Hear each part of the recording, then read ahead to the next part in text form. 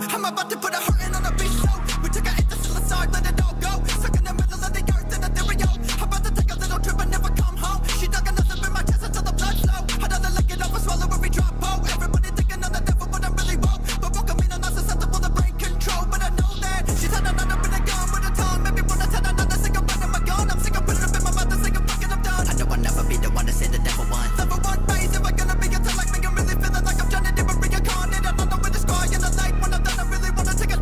like a